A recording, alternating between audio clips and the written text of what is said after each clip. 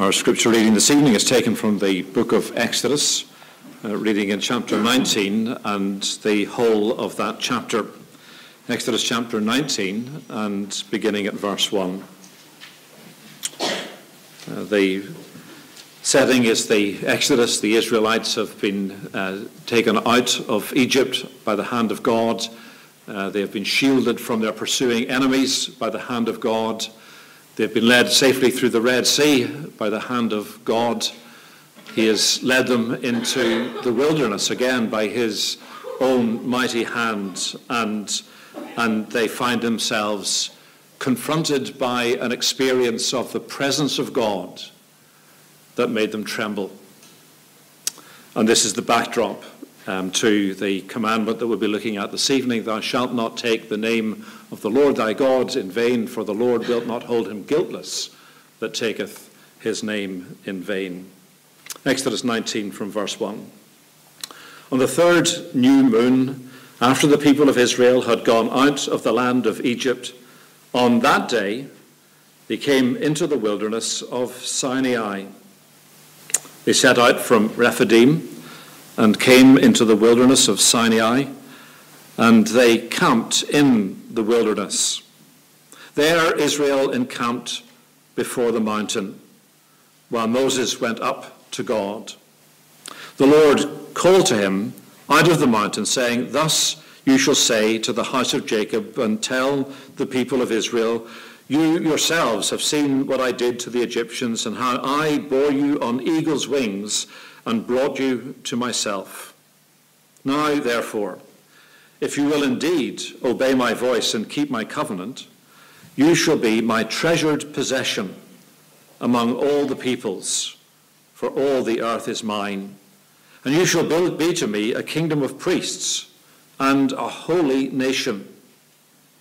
These are the words that you shall speak to the people of Israel. So Moses came and called to the elders of the people and set before them all the words that the Lord had commanded him. All the people answered together and said, All that the Lord has spoken, we will do. And Moses reported the words of the people to the Lord. And the Lord said to Moses, Behold, I am coming to you in a thick cloud, that the people may hear when I speak with you, and may also believe you forever. Then Moses told the words of the people to the Lord the Lord said to Moses, Go to the people and consecrate them today and tomorrow, and let them wash their garments and be ready for the third day. For on the third day the Lord will come down on Mount Sinai in the sight of all the people. And you shall set limits for the people all around, saying, Take care not to go up into the mountain or touch the edge of it. Whoever touches the mountain shall be put to death. No hand shall touch him, but he shall be stoned or shot. Whether beast or man, he shall not live. When the trumpet sounds, a long blast, they shall come up to the mountain. So Moses went down from the mountain to the people and consecrated the people, and they washed their garments.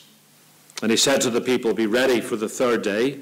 Do not go, near a woman on the morning of the third day, there were thunders and lightnings and a thick cloud on the mountain and a very loud trumpet blast, so that all the people in the camp trembled. Then Moses brought the people out of the camp to meet God, and they took their stand at the foot of the mountain. Now, Mount Sinai was wrapped in smoke because the Lord had descended on it in fire. The smoke of it went up like the smoke of a kiln, and the whole mountain trembled greatly. And as the sound of the trumpet grew louder and louder, Moses spoke, and God answered him in thunder. The Lord came down on Mount Sinai to the top of the mountain, and the Lord called Moses to the top of the mountain, and Moses went up. And the Lord said to Moses, Go down and warn the people, lest they break through to the Lord to look, and many of them perish. Also, let the priests who come near to the Lord consecrate themselves, lest the Lord break out against them. And Moses said to the Lord, The people cannot come up the mount, to Mount Sinai, for you yourself warned us, saying, Set limits around the mountain and consecrate it. And the Lord said to him, Go down and come up, bringing Aaron with you, but do not let the priests and the people break through to come up to the Lord, lest he break out against them. So Moses went down to the people and told them. So far, the reading of God's holy and inerrant word, and we are assured of his promise that by his Spirit he'll give understanding and enable us to not only receive his word, but to practice his word in faith and obedience. Well, please uh, turn in your Bibles to the following chapter from the one that we read, Exodus chapter 20. We're back in the Ten Commandments. We this evening are in verse 7, as it's listed here uh, in this chapter, where in the third commandment, God declares, You shall not take the name of the Lord your God in vain, for the Lord will not hold him guiltless who takes his name in vain. What's in a name? It's one of those somewhat frivolous comments that we make um, that's often used as an excuse for, um, bandying around a name of a person in ridicule or um, pouring scorn on the name of an institution for some reason, and somebody challenges us on what right have you to besmirch the name of another individual or to uh, besmirch the name of uh, an institution, and, and the retort is, well, what's in a name? It's only a label. It's just a handle by which we know people and uh, become aware of them. And it's very easy to do that, that we reduce names to nothing more than empty labels. But when it comes to the name of God, we find ourselves on an altogether different playing field. Because God, who is above all and over all, God who is from everlasting to everlasting, God who is beyond all human thought or comprehension, has made himself known by a variety of names. And he says, You shall not take my name in vain. You shall not regard it lightly. You shall not use it flippantly. But you shall respect and uphold the honor that is bound up with my name in all its manifold revelations. Just reminding ourselves of the cohesion of the Ten Commandments. These are not ten discrete commands um, that, that are not related to each other. They are, um, they are part of a whole. They hang together. Um, the, the significance and the demands of each one is bound up with the significance and demands that they have together as a whole. That's why the ten can be reduced to the two we are to love the Lord our God with all our heart, strength, soul, and mind, and we are to love our neighbour as ourselves. Um, that the, the detail of the ten is expressed wonderfully in the simplicity and yet the depth of those two commands to love. If the first command tells us who we are to worship, we are to have no other gods before God, and the second tells us how we are to worship, not by means of images or idols um, or of bowing down to man made uh, entities. Then the third, continuing in that same vein, speaks to us primarily of our attitude in worship. Our attitude in worship. So often when we were children, um, certainly as children who lived in an age when we were taught the Ten Commandments in school, if our teacher made any attempt to explain the Ten Commandments and they came to the third commandment, they would almost invariably say, You're not allowed to swear. You're not allowed to use God's name as a blasphemy. And that's true, and that certainly is embedded, but that's only a tiny detail in the much larger significance that is bound up with this particular command. Quite simply, we are to take God seriously. That's why we had our call to worship this evening from Habakkuk. The Lord is in his holy temple. Let all the earth keep silence before him.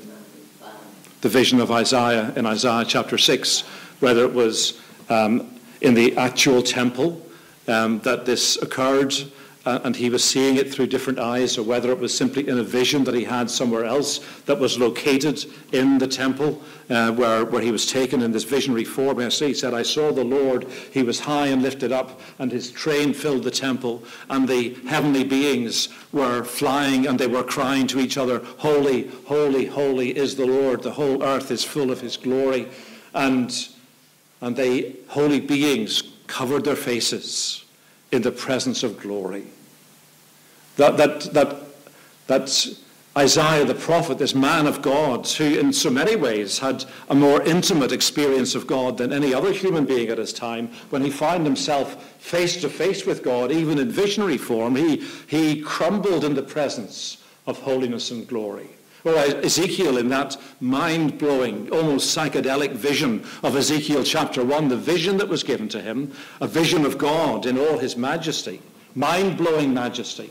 What, what happened to Ezekiel after that, that vision? He fell down and he was like a dead man for seven days. He couldn't get up.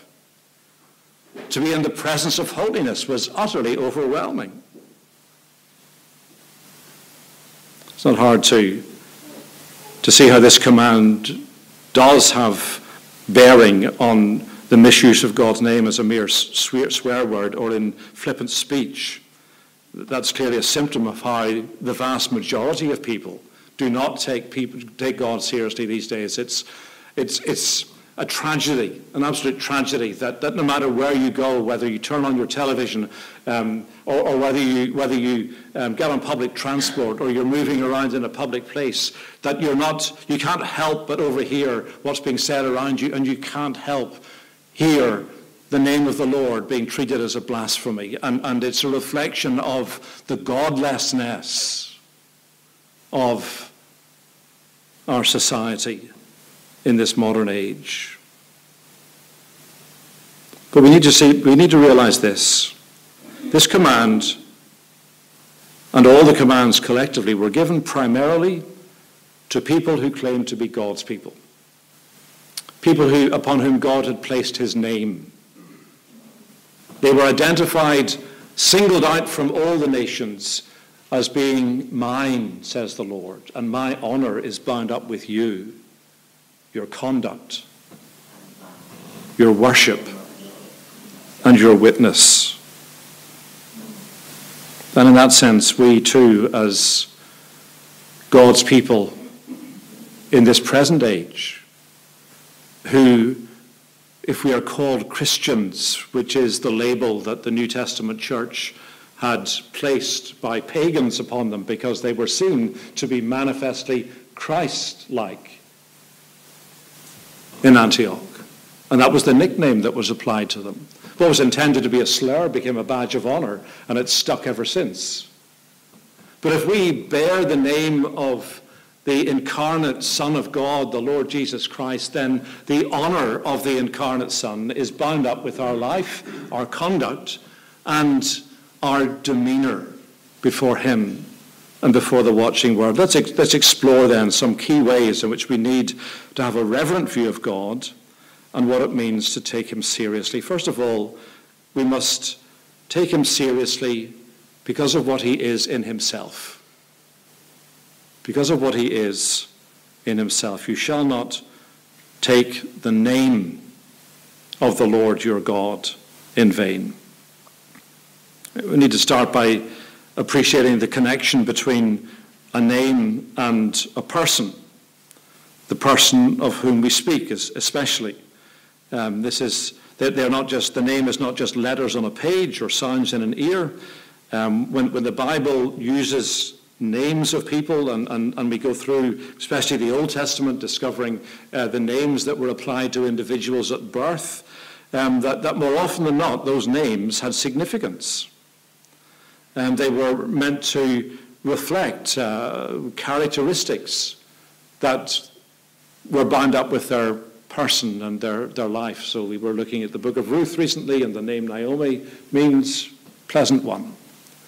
And after the bitterness of her experience in Moab and the, the, the pain with which she came back to Bethlehem in a sense of loss and shame, she tells her, her kinsfolk in, in Bethlehem, Do not call me Naomi any longer because you're to call me Mara, which means bitter. The pleasantness of my life has been swapped for the bitterness of experience these past 10 years and longer. Or again, you find um, names being changed. Um, the most obvious one being the, uh, the name of, of, um, of Cephas, um, the, the, first disciple that Jesus called.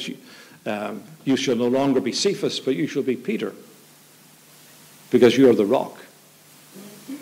Um, and, and Jesus wanted this name change in part to reflect the, the, the, brash character of Peter. He was one of those um, to the front individuals, the, the natural leader um, who commanded attention and, and, uh, and not a few times commanded ridicule because of his foolishness and failure. But nevertheless, he was clearly a man with leadership cap- capabilities. And, and Peter said, You should become Peter. He wasn't appointing him as the, the head of the apostolic band, but he became the de facto head spokesman, leader of that little group. But the name change was a, a reflection of the conversion of Cephas to Peter when he met Jesus. It follows then that the way we use a person's name reflects the way we regard the individual concerned. You only have to, to think of the way that the very mention of a name um, has a subconscious impact upon us, for good or ill.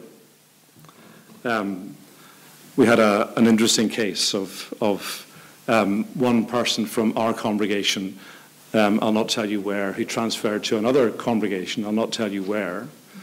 Um, but the minister of the other congregation was duly warned of what to expect whenever this person made the transfer. He said, no, that couldn't be true.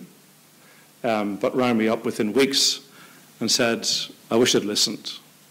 Um, because the very mention of the name sent shivers down his back in terms of what this individual was capable of doing.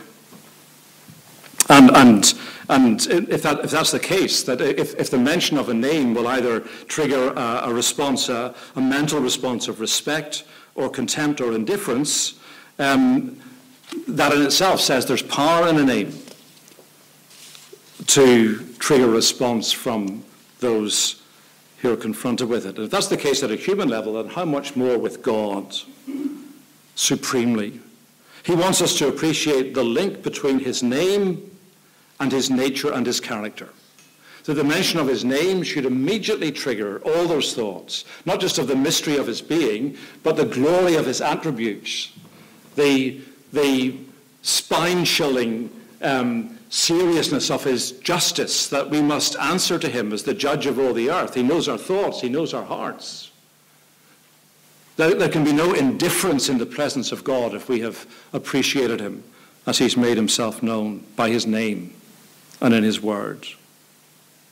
Indeed, God goes as far as singling out one particular name by which he has made himself known, which uniquely inspires awe and wonder. He is the Lord your God. He is Yahweh, Jehovah, the name by which God, which God himself defines as meaning I am that I am. It will come later on in the Exodus record. Moses is, uh, or it sort of came earlier on in, in the Exodus record whenever Moses was told by God, speaking from the burning bush, go and tell Pharaoh, let my people go. And, and, and Moses protested and said, that's, that's a, a death mission. I'll not emerge alive from that. And, and, and eventually Moses is persuaded and he says to God, Well, who shall I say has sent me? And God says, Yahweh, Jehovah. That's Hebrew, what scholars call the tetragrammaton. It's simply four consonants in the Hebrew language. But a word that was so revered in the Hebrew context that Jews would not take that name upon their lips. If a scribe was going to write it down, copying the scriptures, he would go into the closet to do it. um, in order to, to, as a mark of, of awe and wonder before the very written name of God. Um, but, but when God explained the meaning of that name, it means, because it's taken from the, the roots of the Hebrew word to be, and it, and, it, and it means basically, I am that I am, or I will be what I will be. I'm, I exist. I am the ultimate existence. Self existent, self sufficient, sovereign Savior God. And there is, as we've already been reminded, no being in all the universe to whom he can be compared. So it shouldn't surprise us then that the Bible's book of wisdom, the book of Proverbs, and the use of the word wisdom in the book of Proverbs is skill for living, chokmah. It's a Hebrew word that speaks about um, not just knowledge and information, but how to use that how to use it wisely and well, how to use it not just for your own good, but for the good of your family, how to use it for the good of society, how to use it to the, to the, the maximum that wherever God has placed you and called you to work, that you need skill for, for living. It's amazing the number of people who have got a lot of intelligence, but they are very foolish in the way that they try to live and relate to those around them. But the Bible's book of wisdom, Proverbs, tells us that the beginning of wisdom is what? The fear of the Lord, reverence for God, awe and wonder at the very thought of Him. A wise outlook on the course of life that lies before us starts with serious respect for God. That's why the Bible says to young people, remember your Creator when you're young. Don't think of it simply as stuff you hear in church or in Sunday school or you read in books that is interesting. No, reverence for God, taking God seriously, is the only place to start if you're to live wisely and well in the years that lie ahead. We need to recognize Him and revere him for who he is. We need to hear his name, and when we hear his name, we should immediately think of what he's like. And we are overwhelmed by the sense of might and majesty bound up with God. It speaks also of how we react to God in the way that he has revealed himself in his revelation. We only appreciate the value of a name when we begin to understand something of what it stands for.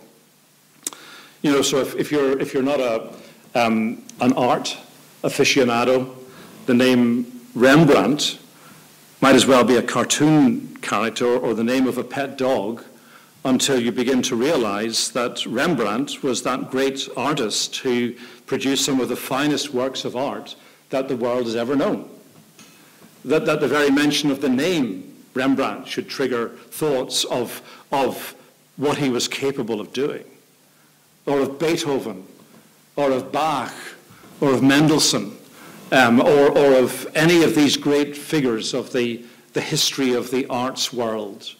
Um, people who were incredibly gifted and talented and, and who have left a legacy uh, of works that are a testimony to the skill that they had been given in their lifetime. You know, in, in, in, in our world, increasingly, we, we use the expression, you know, so-and-so has made a name for themselves when we mean that this person has built a reputation for themselves, for good or ill. Um, usually in the, in the positive sense of the word, if somebody, if somebody has, has done well, lived well, achieved much, then they've made a name for themselves. And, and they are respected and acknowledged for that. And in a real sense, that's true with God, that the name that he has revealed himself by is not some detached label which simply drops out of heaven, but it's closely bound up with who he is and everything that he has done.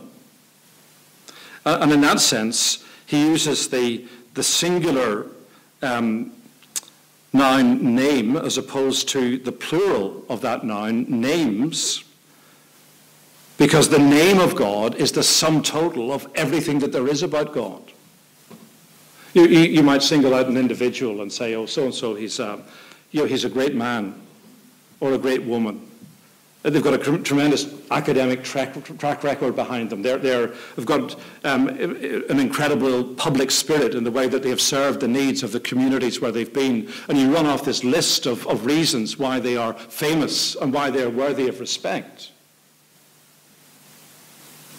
Multiple labels.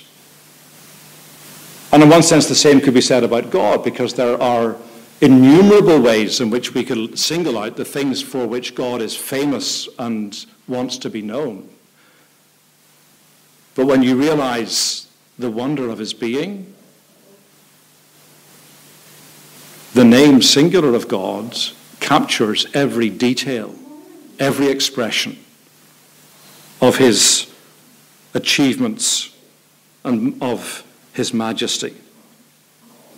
In, in a general sense, God has given all human beings a glimpse of who he is and what he is like. Psalm 19 and verse 1 starts off with the words, The heavens declare the glory of God, and the earth his handiwork. Um, that, that, that, that is John Frame so colourfully puts it. We, we live in a sacramental universe. A sacramental universe. What is a sacrament? A sacrament is a symbol, but it's also a seal. Um, it's a symbol of something that, that is hard to get our heads around, but it becomes made tangible um, in what we see and what it's linked to. Um, and and, and uh, it also explains the significance that is bound up with it. So Frame is simply declaring in, in, in somewhat um, creative language what Paul declares in Romans chapter 1, that God has not left himself without excuse uh, because um, the entire created order, from the stars above us to the world around us to the finest components of matter beneath us, God has left his fingerprints on every atom of the created order, every detail of the functioning of this cosmos of which we are a part. That nobody in all conscience can look out on the wonder of the created order and say, I'm an atheist. Not in all conscience. If they're doing that, they're committing intellectual suicide. Because everything in the world around us, and even the way in which we are constructed as human beings, says we are fearfully and wonderfully made. The hand of God is in all that has been brought into being around us.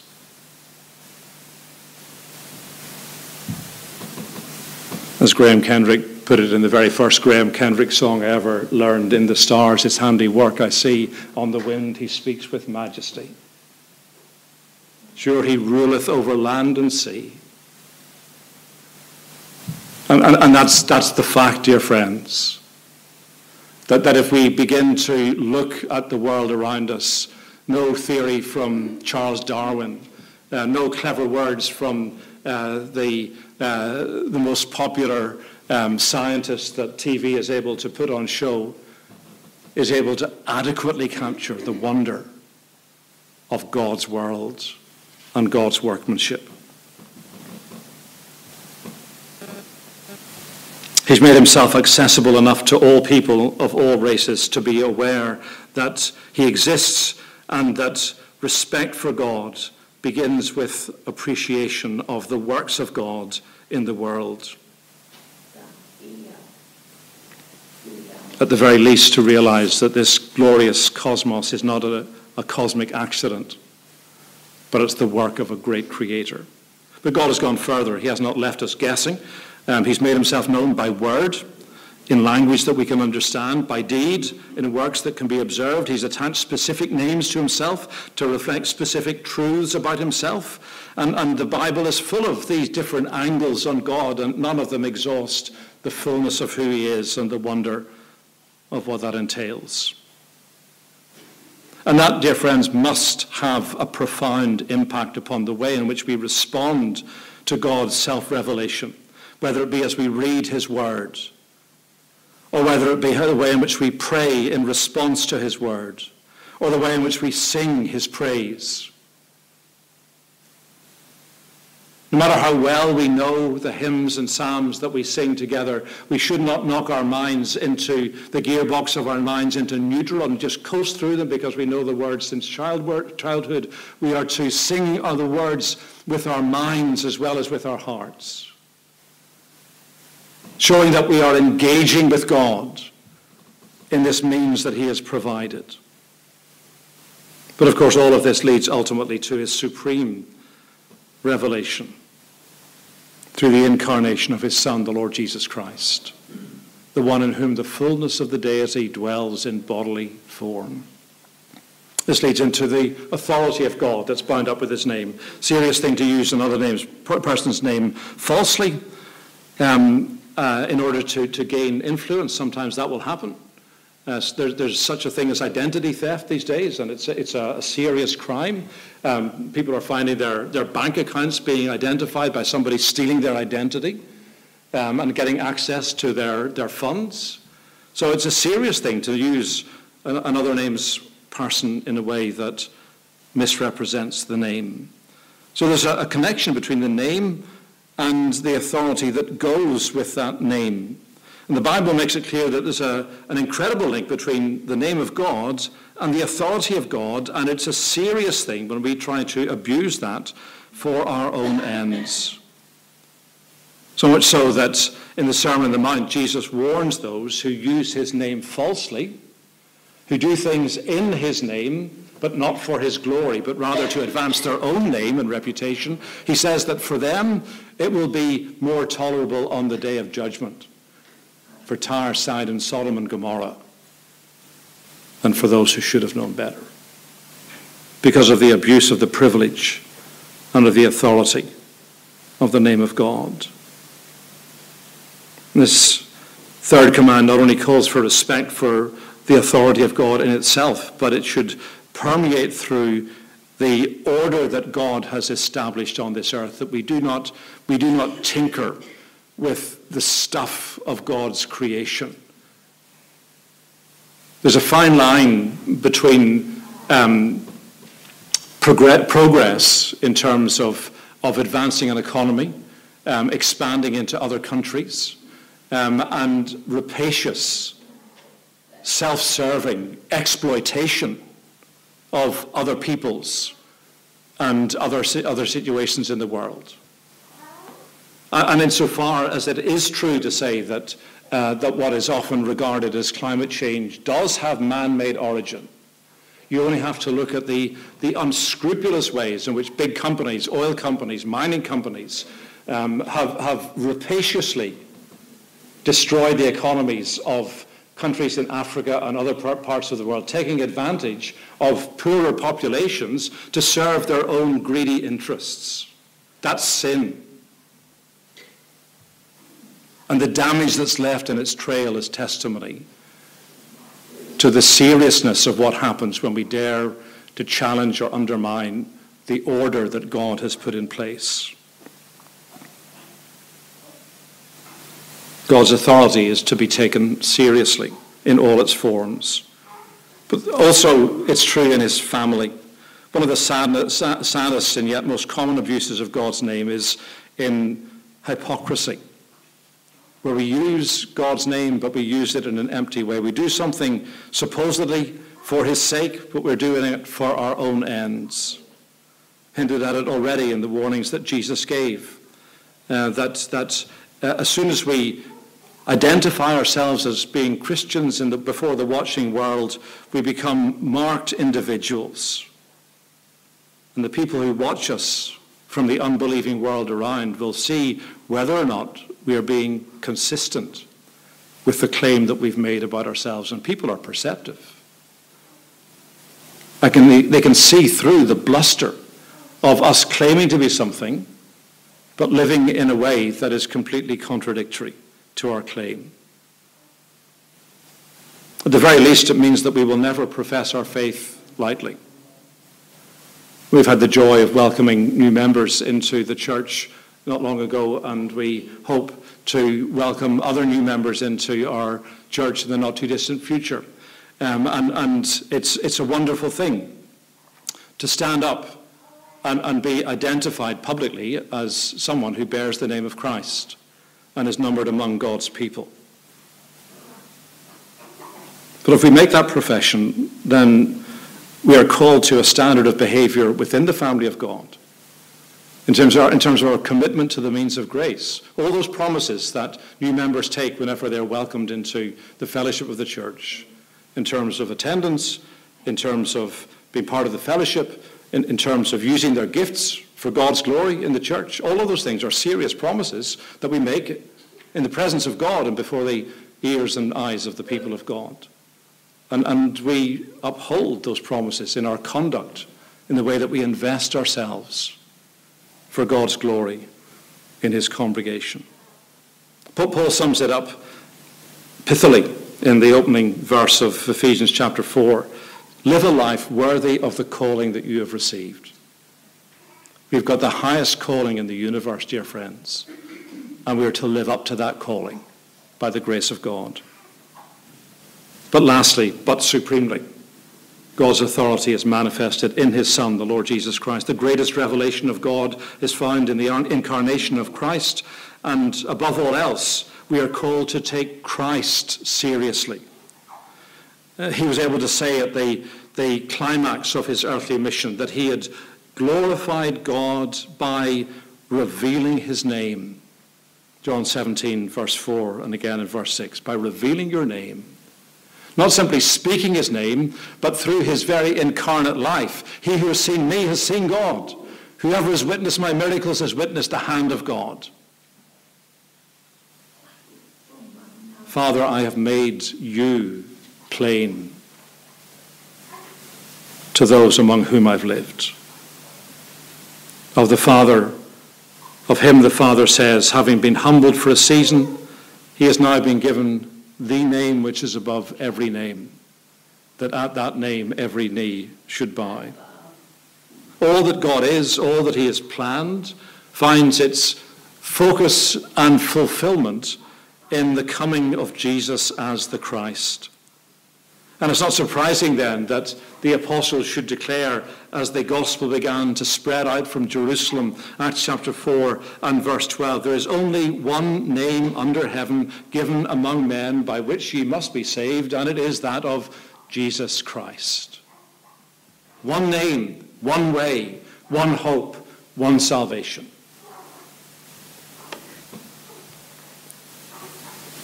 So we do not trivialize, trivialize that name.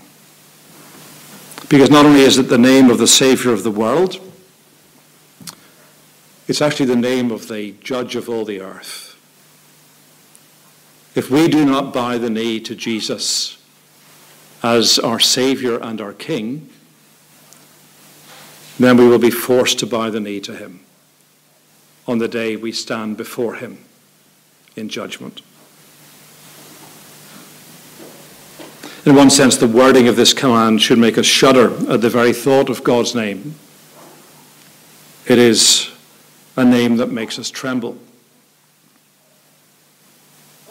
But it serves only to, to make us appreciate another great reference to that name in the book of Proverbs, chapter 18 and verse 10. The name of the Lord is a high tower. The righteous run to it and they are safe. Dear friend, have you seen the high tower that is the name of God? Have you run to that high tower? Because only there, that's the only place in all the universe that you will be safe. Let's pray. Lord, we bless you for your high and holy name, the way by which you have made yourself known, and the way by which we can approach you and intelligently and in a heartfelt way engage with you as you with us. Grant that we may give you the reverence that you are due. And we pray that those around us who are not yet Christians may see in us the awe and wonder in which we hold you as the only true and living God and the only Saviour of the world. For Jesus' sake, Amen.